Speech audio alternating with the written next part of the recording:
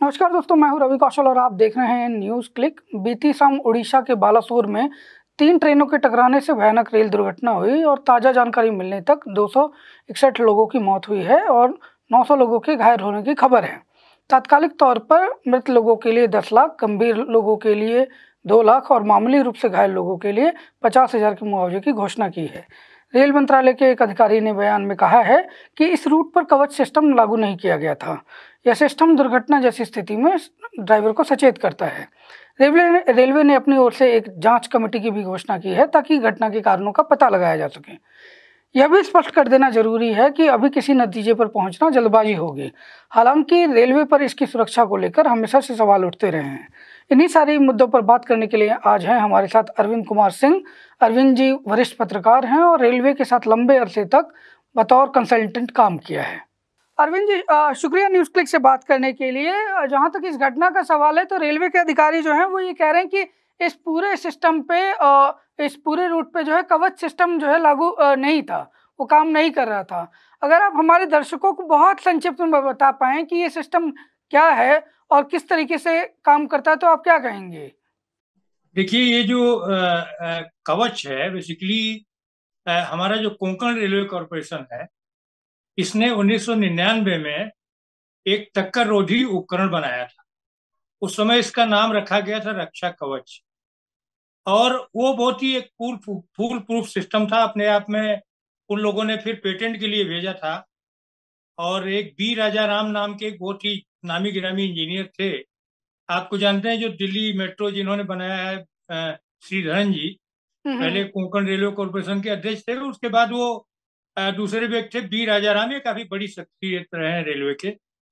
तो ये उनके दौर में बहुत सारी चीज़ें बनी थी, जिनमें से एक स्वदेशी प्रयासों से रक्षा कवच बना। और चूँकि जब नई टेक्नोलॉजी आती है तो उसको एक लंबे समय तक उसके टेस्ट वगैरह की ज़रूरत पड़ती है। तो जो हमारा पूर्वोत्तर रेलवे है, वहाँ टेस्टिंग भी हुई और इलाकों में भी हुई। और ये पाया गया कि ये प्रणाली कम से कम जो रेलगाड़ियों में टक्कर होती है आपस में, और ऐसी बहुत दुर्भाग्यपूर्ण घटनाएँ अगर आप देखेंगे तो इसके पहले दो बड़ी दुर्घटनाएँ घटी हैं जो जिनमें कैजुअलिटी बहुत ज़्यादा हुई थी। 300 से ज़्यादा तो हुई थी, जो फिरोजाबाद रेलवे एक्सीडेंट हुआ था उन्नीस सौ पंचानवे। तो वो भी ट्रेन के टक्कर का ही मामला था। उसमें भी अगर आप देखेंगे तो दो गाड़ियों की टक्कर के पीछे एक वजह थी क्योंकि टेक्नोलॉजी उस समय बहुत पुअर सेफ़ में थी। हाँ सिग्नलिंग का सिस्टम भी बहुत वीक था उन दिनों, पंचानवे के दिनों में। बाद में रेलवे फोकस किया रेलवे ने कि जो सिग्नलिंग सिस्टम है उसको जितना मॉडर्नाइज किया जा सके। अब आज के तारीख में देखिए, उन्नीस सौ निन्यानवे में जो टेक्नोलॉजी आई, उसके बाद जब पवन कुमार बंसल रेलवे मिनिस्टर बने थे तो ये दो दो हज़ार बारह, तेरह के दौरान मतलब तो उस उस दौरान ये तय हुआ कि नहीं, ये जो टेक्नोलॉजी है, इसको विस्तारित करने की ज़रूरत है, ज़्यादा से ज़्यादा, और एक सत्तावन हज़ार किलोमीटर के रेडियस में यानी लगभग पूरे रेल तंत्र पर इसको बनाने की बात आई थी। अगर आप गौर करेंगे तो सुरेश प्रभु जी जो रेल मंत्री बने हैं तो उन्होंने मिशन एक एक मिशन शुरू किया जिसका था कि ज़ीरो कैजुअलिटी हो मैंने शून्य दुर्घटना मिशन हम्म, हम्म। तो शून्य दुर्घटना मिशन तो भारतीय रेल में क्या है कि दुर्घटनाएँ होती किन कारणों से हैं? सिक्सटीज के दशक में अगर आप देखेंगे तो सबसे ज़्यादा बड़े कारण जो होते थे दुर्घटनाओं के, वो यात्री कारण होते थे एक बड़े, जिसमें यात्री कारण ऐसे, जैसे कि कोई स्टोव लेके गया है और उसने जला दिया तो कोचों में आग लगने की बहुत सारी घटनाएँ होती थी। टेक्नोलॉजी थोड़ी इंप्रूव हुई और यात्रा, यात्रियों में जागरूकता आई तो वो दुर्घटनाएँ बदल बंद हुई। उसके पीछे सरकार, समाज, दोनों का हाथ। धीरे धीरे नई टेक्नोलॉजी आई। अब आपके पास एक स्वदेशी टेक्नोलॉजी थी जो कि रेलगाड़ियों के टक्कर को रोक सकती थी। तो मुझे लगता है कि जब सुरेश प्रभु जी के पीरियड में एक लाख करोड़ रुपए का एक रेल संरक्षा फंड बना है तो मुझे लगता है कि उसमें सर्वाधिक प्राथमिकता ये देनी चाहिए थी, क्योंकि ये टेक्नोलॉजी आपकी स्वदेशी टेक्नोलॉजी है। इसमें कोई विदेशी, मैंने फॉरेन करेंसी इन्वॉल्व नहीं है। तो और ये बहुत महँगी भी नहीं मैं इस समय तो तत्काल इसके टेक्निकल और वो एस्पेक्ट पर ज़्यादा नहीं बता सकता लेकिन ये ये इतना समझ लीजिए कि कोई भी रेलगाड़ी अभी देखा होगा आपने कि रेल मंत्री जी एक रेलगाड़ी पर सफ़र करके आ रहे थे और दूसरी गाड़ी सामने आई और रुक गई। है ना? तो ये फुल प्रूफ है और स्वदेशी है। तो मुझे लगता है कि इस पर पूरे देश भर में लगभग हर इलाकों में अगर मान लीजिए ना भी संभव होता तो कम से कम उन इलाकों में जहाँ सबसे ज़्यादा यात्री परिवहन हो रहा है और आप गौर करिए जो कलकत्ता से जो चेन्नई का जो रूट है, दिल्ली से चेन्नई का है, दिल्ली से हावड़ा है तो दिल्ली से हावड़ा और दिल्ली से मुंबई के लिए तो काम चल रहा था। लेकिन अब इसको मिशन मोड में ये काम करने की ज़रूरत है, मुझे लगता है, क्योंकि देखिए, जब आज और कल में बहुत फ़र्क आ गया। पहले छोटी ट्रेनें थी, कम लोग बैठते थे। आज पूरी एक ऑस्ट्रेलिया है जो कि रोज रेलगाड़ी में सवार होके जा रहा है। रोज आप तीस लाख टन जो है वो माल ढो रहे हैं तो जब जब आपकी क्षमता बढ़ी है तो बड़ी दुर्घटनाओं की आशंकाएँ भी बढ़ी है और मुझे लगता है कि इस मामले में जो काम होना था, आप देखिए अभी रेलवे मिनिस्ट्री ने कहा ना कि इस पर नहीं लगा पाए। तो क्यों नहीं लगा पाए? आपको तो लगाना चाहिए था क्योंकि सबसे ज़्यादा यात्री यातायात चल रहा है जब जिस इलाके में, सबसे ज़्यादा भीड़ है तो वहाँ लगाना चाहिए था कम से कम। मुझे लगता है क्योंकि जब मालगाड़ी जब देखिए दुर्घटनाग्रस्त होती है तो उसमें क्या है कि आपके माल का बहुत नुकसान नहीं होता और दोबारा आप उसको रीलोड कर सकते हैं। ठीक है ना? हम्म, हम्म। वैसे ही कोई हो तो बात अलग है लेकिन अगर मान लीजिए कोई कोई कोयले की ट्रेन में दुर्घटना हो जाए तो क्या होगा? आप दोबारा कोयला रख लेंगे थोड़ा बहुत नुकसान होगा।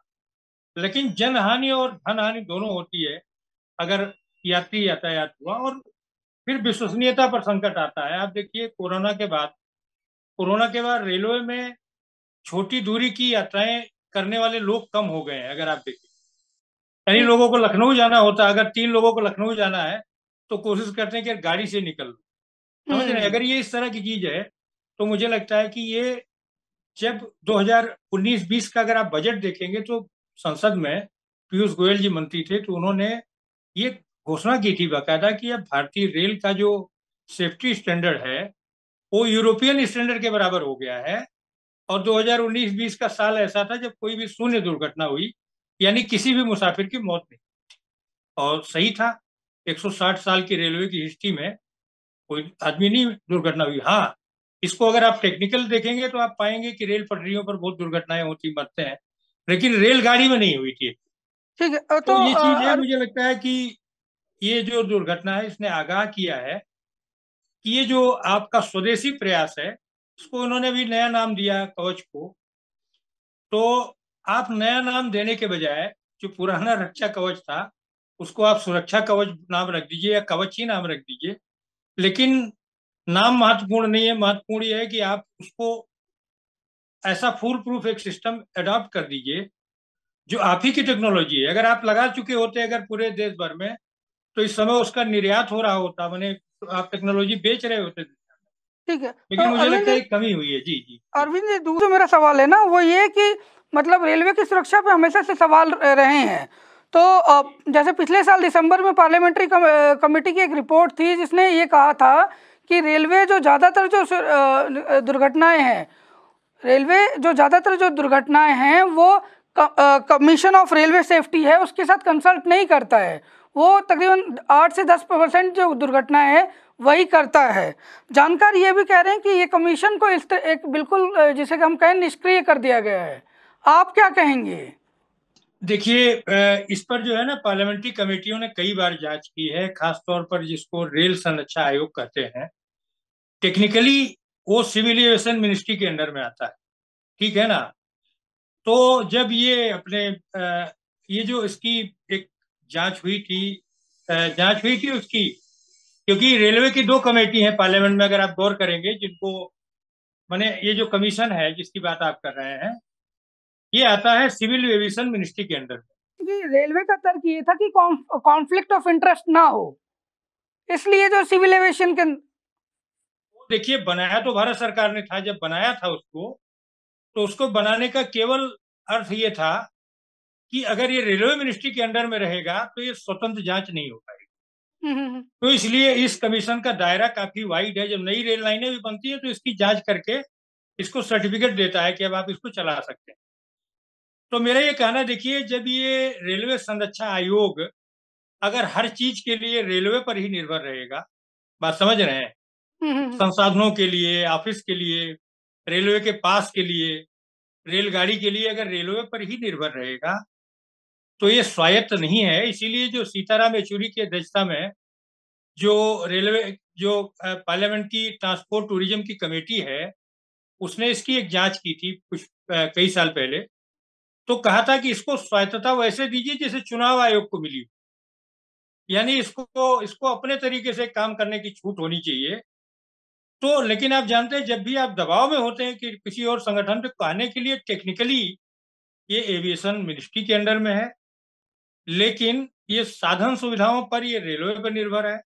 तो इसीलिए जो इसकी निर्भरता होने के नाते बहुत सारी चीज़ों में आप देखिए ना, सवाल है कि आप जितनी दुर्घटनाएँ होती और जिसकी सांविधिक जाँच कहते हैं, जो जिसकी ये मतलब एक पूरे लीगल फ्रेम में जाँच करती है, जो बड़ी दुर्घटनाएँ होती हैं, जिनको जाँच का दायरा इनको इनको मिलता है। उसमें भी आपने देखा होगा कि बड़ी कमीशन की बात नहीं कर रहा हूँ, जैसे तमाम आयोग बनाए गए आयोगों की बात नहीं कर रहा हूँ। ये जो कमीशन जाँच करता है उसके सुझावों को कितना इम्प्लीमेंट किया गया वो कोई खास आपको सामने नहीं आता लोग पब्लिक डोमेन में भी नहीं आता कि आखिर क्या है। दूसरी जो कमेटियाँ होती हैं अभी आप जैसे देख लीजिए कि बीच में दो तीन इम्पोर्टेंट कमेटियाँ बनाई गई थी उनके उनकी रिपोर्टें सामने आई हैं जो है। लेकिन सरकार ने कहा कि उस समय कहा कि जो दिल्ली दिनेश त्रिवेदी के रेल मंत्री काल में जो दो महत्वपूर्ण कमेटियाँ थी, रेलवे सेफ्टी और मैंने रेलवे सिक्योरिटी को जाँच करने के लिए, उन कमेटियों ने जो सिफारिशें की थी तो सरकार ने बाद में कहा कि नहीं, उसकी सत्तर परसेंट, अस्सी परसेंट लागू कर दी गई। लेकिन सवाल यह है कि अगर ये सिफारिशें लागू कर दी जाएँगी ऊपर से नीचे तक तो सिफारिशें लागू करने में क्या है? अगर आप, हम बात कर रहे हैं तो हम एक टेक्नोलॉजी का सहारा ले रहे हैं, लेकिन आप और हम दोनों लोग इन्वॉल्व उसी तरह से रेलवे में टेक्नोलॉजी को चलाने के लिए आदमी चाहिए ना जो आदमी है जो मनुष्य है आप देखिए इस समय तीन लाख वैकेंसी है रेलवे करीब तीन लाख के आसपास। और इस तीन लाख वैकेंसी में आप देखेंगे सेफ्टी कैटेगरी की सबसे ज़्यादा है जिनको मतलब मनुष्य की सुरक्षा से जुड़ी हुई अगर वो होगी तो जो अगर आपने देखा होगा पार्लियामेंट की स्टैंडिंग कमेटी तो राधा मोहन सिंह जी जब से बने हैं तो काफ़ी उदार है वो। क्योंकि ये बहुत से वर्षों में पहली बार ऐसा हुआ कि रूलिंग पार्टी का आदमी स्टैंडिंग कमेटी के चेयरमैन भी है। उसके पहले अगर आप आएँगे तो पूरे यूपीए के जमाने में कौन रहा है? वासुदेव आचार्य से लेके अपोजिशन के लोग होते थे।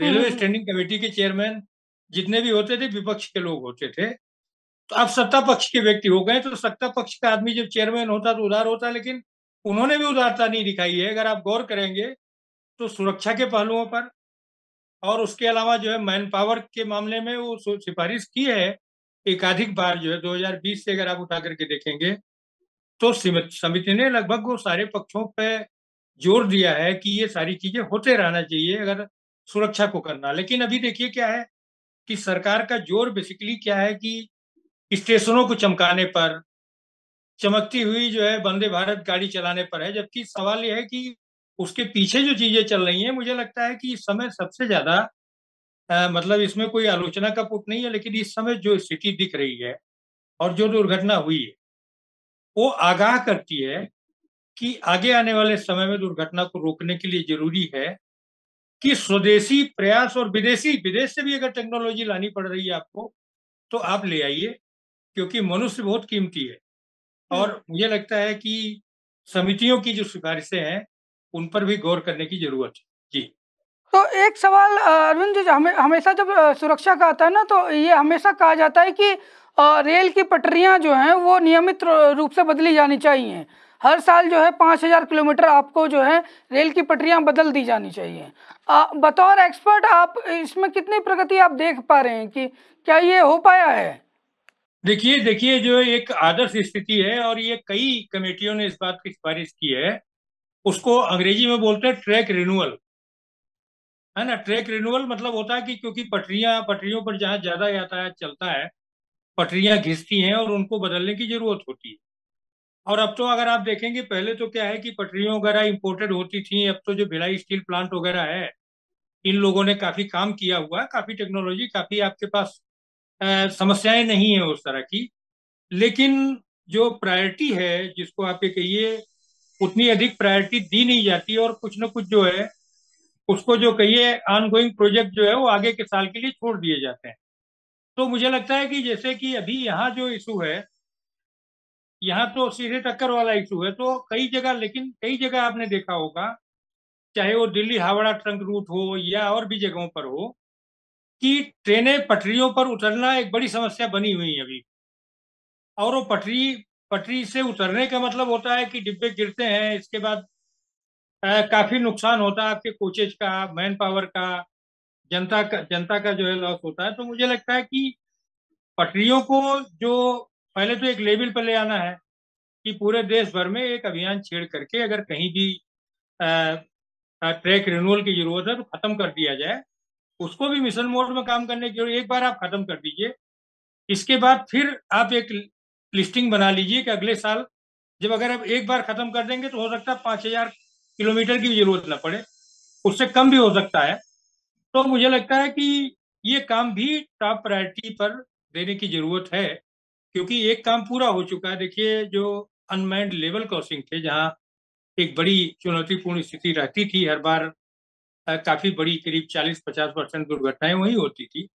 कोई ट्रैक्टर लिए चला रहा है, फाटक पर कोई तैनात नहीं है। तो उसको मैंड कर देने या उसकी समस्या को खत्म कर देने के बाद जो है 2020 तक लगभग वो खत्म हो गया है। और उसके लिए पिछले काफ़ी सरकारों से काम हो रहा है। अगर आप देखेंगे तो सी के जाफ़र शरीफ के पीरियड से ही लगातार काम होता रहा है। उसमें राज्य सरकारों ने भी मदद की, कई जगह पर कई तरह के प्रयास हुए। तो अब जब ये काम हो गया तो मुझे लगता है कि अब दूसरा काम हो जाना चाहिए। ट्रेक रिन्यूअल कहीं बाकी ना रहे। और ये जो आ, मतलब जो कवच है जिसको रक्षा कवच कह रहे हैं या सुरक्षा कवच इस कवच प्रणाली को लगभग पूरे रेलों में लागू कर देने की ज़रूरत है। उसके लिए जो भी संसाधन एडिशनल ज़रूरत हो क्योंकि अब तो रेल बजट भी नहीं है। अब तो भारत सरकार ही जो फैसला करना चाहे वो भारत सरकार जो है वित्त मंत्रालय भारत के रेल के भविष्य के बारे में फैसला कर रही है। अठारह सत्रह अठारह के बजट के बाद तो रेल बजट भी खत्म हो चुका है। तब ये कहा गया था कि कायाकल्प हो जाएगा और ऐसा बहुत सारे एक्सपर्ट ने कहा भी था। जब बजट चलता था, देखिए तो बजट में पार्लियामेंट में अलग अटेंशन होता था।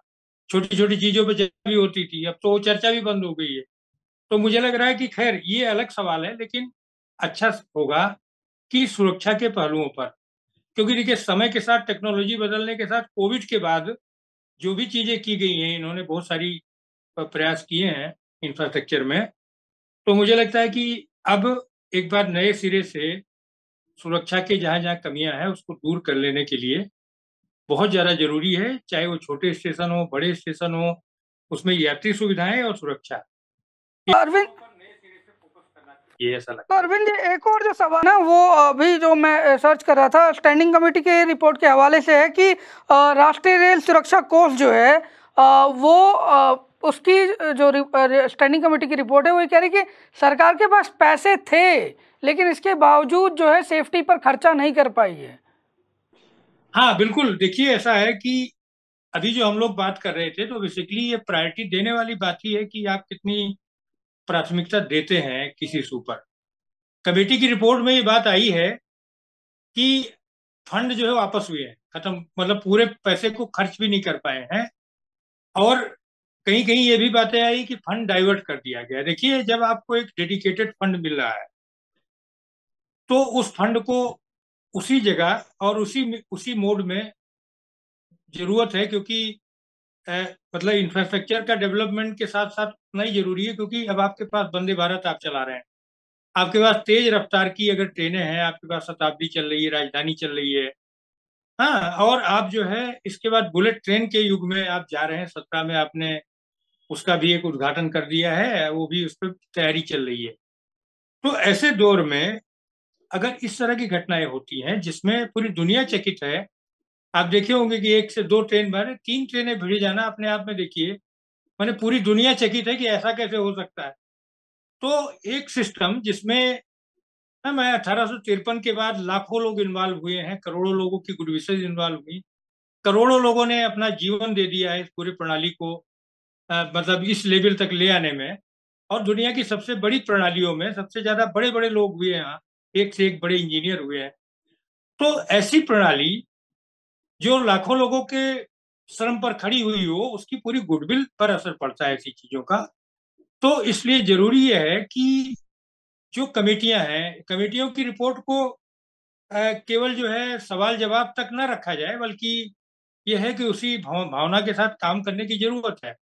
मैं आपको एक उदाहरण देना चाहूँगा कि जो आ, आ, बहुत सारे ऐसे आ, मतलब इस पूरे तंत्र में कमेटियों का मैंने खुद देखा है कि एक बार जो है वासुदेव आचार्य की एक कमेटी थी जिसने जो है कुछ सिफारिश की थी।